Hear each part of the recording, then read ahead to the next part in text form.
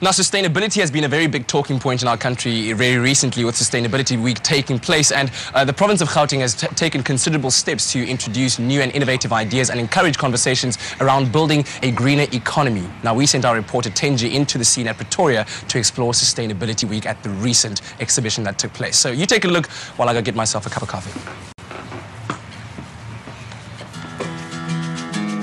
In African cities such as Tshwane, new buildings are going up almost every single day. But in a bid to keep up with our more global counterparts, we have to ask, can development happen not only faster, but also cleaner and greener?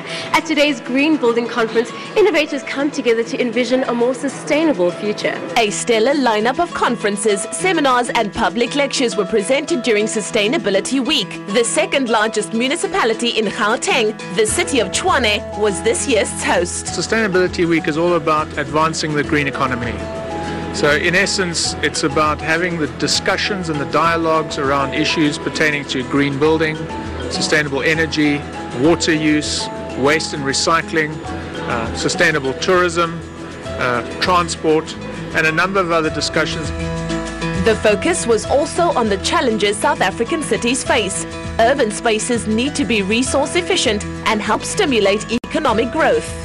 Mayor, the City of Tshwane has put together a long-term sustainability plan. Can you tell us more about Vision 2055? Vision 2055 is nothing else uh, but the kind of future that we are envisaging. So it's a, a, commonly shared picture of the future going into 2055. But remember that those initiatives start today. There are two questions that we need to be resolving. The first one is the urban transition. Uh, there's a lot of people who are coming into centers of economic production uh, looking for opportunities. They come from the urban periphery and that creates a, a number of challenges for us. The second one is the issue uh, the transition towards a low carbon economic growth. We are assembling a core of uh, intellectuals, people who are operating in this space to help us to fashion responses to these challenges. And that's why we are part of this uh, initiative today. And that is going to contribute meaningfully towards Vision 2055.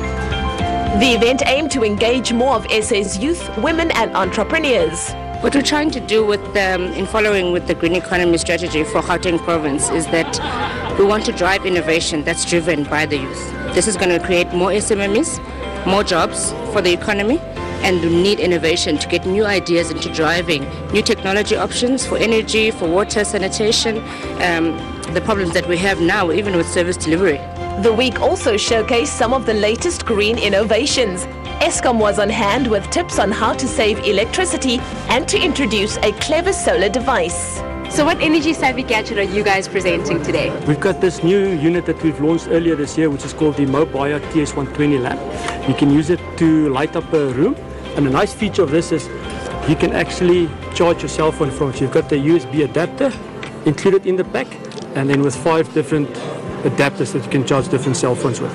And the battery inside here is charged via the PV panel that's you get with the box. Upcycling is also important. Non-profit organization Redisa turns waste like old tires into desirable items.